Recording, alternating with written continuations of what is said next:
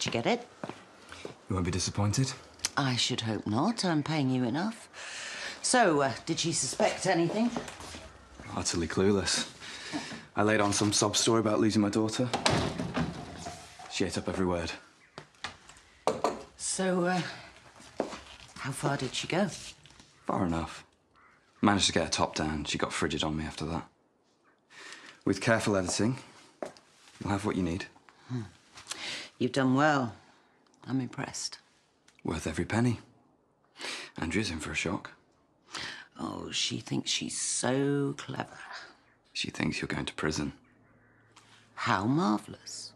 Well, I'll allow her tonight to think she's got one over on me, to plan all the things she can do once I'm back behind bars. Then what do you have planned for her? Oh, this is just the beginning. By the time I've finished with Andrea, her entire life will be in tatters.